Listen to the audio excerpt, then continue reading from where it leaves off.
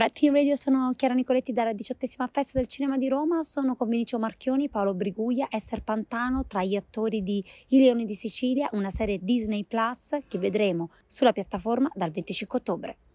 Allora, chi sono i Florio e quale direste che è la loro più grande dote? Il motore che li porta avanti, la testardaggine, il, l'essere sì orgogliosi di ciò che sono, ma allo stesso tempo volersi liberare da, dalle etichette?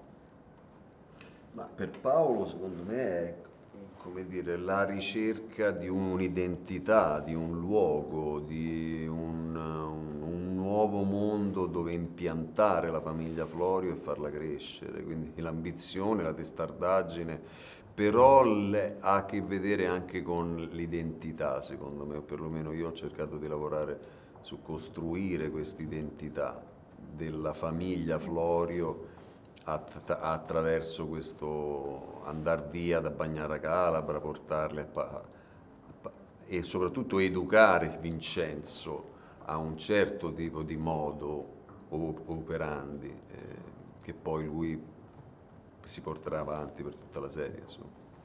Sono dei commercianti, un commerciante deve crescere, non può stare fermo dov'è, no? il commerciante deve commerciare, arricchire, non solo arricchire per il denaro, arricchire perché quello è il senso dell'impresa e nel momento in cui si trovano nell'impossibilità di farlo, anzi rischiano di perdere tutto per, per, la, per, la, Calabria, per i terremoti, per tutto, per la povertà che li circonda, partiranno. Soprattutto Paolo è quello che ha questa, questa caparbietà imprenditoriale. Ignazio lo accompagna volentieri perché è il fratello più piccolo, forse avrebbe desiderato altro per la sua vita, ma a un certo punto questo nome, Florio, diventa la cosa dominante della loro vita. Più volte nella serie si dirà tu sei un Florio, tu sei un Florio, il Florio, un Florio fa così, un Florio fa colà. Eh, in nome di questo nome Florio loro fanno dei sacrifici immensi, rinunciano anche, nel mio caso, anche alla propria felicità personale e ai propri sentimenti, perché quel tragitto lì, quella, quella, quella piramide che si sta costruendo è più importante della propria felicità piccola. Ogni rivoluzione ha un prezzo, Esther. Sì, hanno tutti un immenso nonostante tutto. Nonostante tutto riescono a fare questo, nonostante non ci si possa realizzare a livello sentimentale, sai che devi essere lì per la tua famiglia.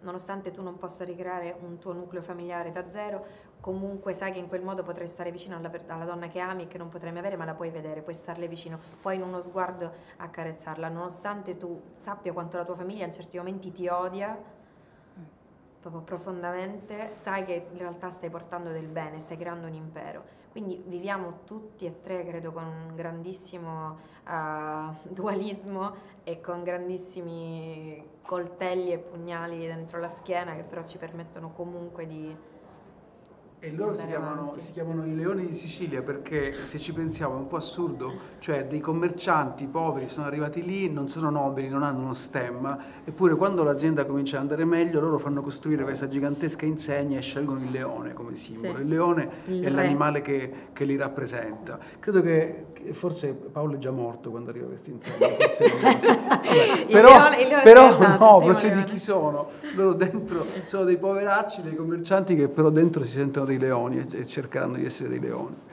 Eh, questa è una serie in cui spesso si fa riferimento anche agli odori, ai profumi, un po' per veicolare il senso di appartenenza, l'innamoramento, i ricordi.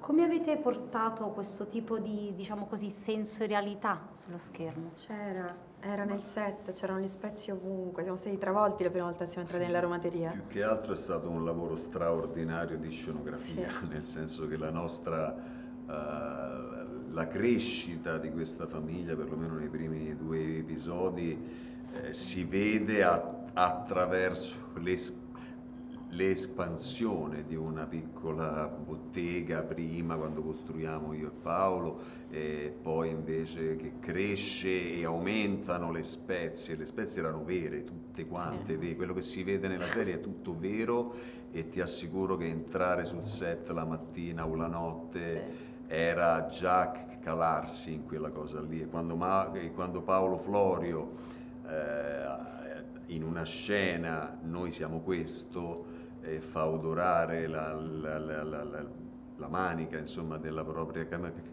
camicia al figlio di Vincenzo è venuto molto semplice, tra Sì. virgolette. Ce l'avevamo, ci eravamo fatti regalare a ognuno di noi delle scatolette con un po' di quelle spezie lì. Ah, siete ognuno di noi. Tu non ce l'avevi, io No, ce l'avevo a no, casa. Cioè, che- ce no, l'avevo io, lì. diciamo, abbiamo un po' le- anche mangiucchiato la scenografia, c'era qualcosa. Sì, perché sapete che in mezzo alle spezie, quelle che sono per Pistacchi. cucinare, c'erano anche la frutta candita, la Frutta frutta secca. i pistacchi, cose. Quindi era anche un lavorare e mangiucchiare, diciamo che abbiamo int- sapere cosa vendevamo. introiettato le spezie.